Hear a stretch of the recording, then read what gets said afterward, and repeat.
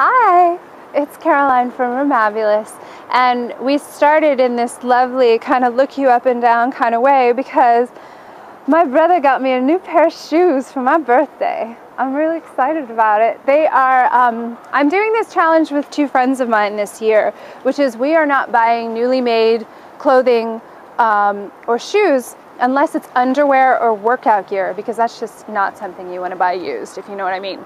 So we are not buying new clothes this year, but since it was my birthday and my brother made me take him to the airport at 8 o'clock in the morning, I decided that mama needed a pair of new shoes. So I told him that I would take him to the airport if he bought me these very lovely campers. They're campers, so, and they're sexy. I mean, I don't, you know, I have the other campers. I have like five pairs. I love them. They're wonderfully comfortable. But they are not exciting cranberry colored peep toe wedgie shoes like these are. And um, so they arrived today, and I'm pretty fired up. We've been filming some video, and my assistant was wondering what was in the shoes because I've been a little excited. So sometimes it isn't about reading a new business book or going to another networking event or doing one more thing that you're supposed to do.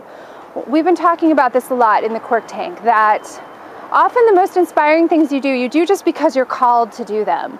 Um, I found actually I had a bunch of calls to listen to this week, and I put them on speaker next to me on mute, and I was working on a sewing project. And I got more out of those calls because I was so able to concentrate because I'm a really auditory learner, but I often listen to things in the car. And that helps me to concentrate. So when I'm doing something with my hands that isn't verbal, it's nonverbal, um, you know, it's really bad for me to check email when I'm on a call because then I space out. But when I'm sewing, I'm not thinking about words, and so I took in so much more information. Now, is there a business book out there that says you should be on a sewing machine while you're listening to business information? It'll really help. No, of course not.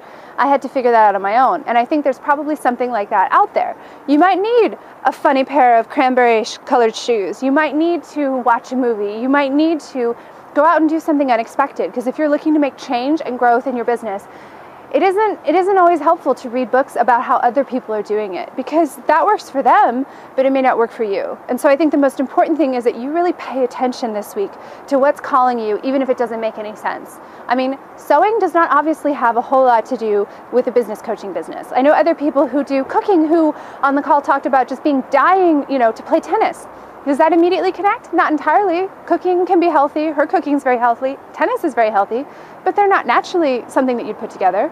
But if it's calling her, I say go for it. So I think that's something we're learning to embrace in the Quirk Tank. And I wanted to share that tip with all of you. And if you're not in the Quirk Tank, you should be.